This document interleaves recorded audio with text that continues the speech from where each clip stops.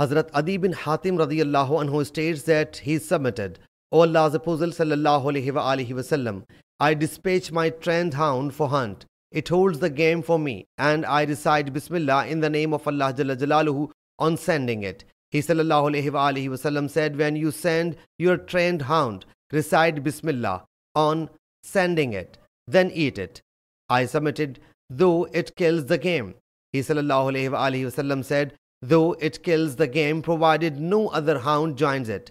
I then submitted, I hit a game with a staff which kills him. He wasallam said, when you hit a game with a staff and it pierces its body, lacerates the flesh, eat it, but if you kill a game with both side of the staff, do not eat it. Sahih Muslim, Hadith number 4949.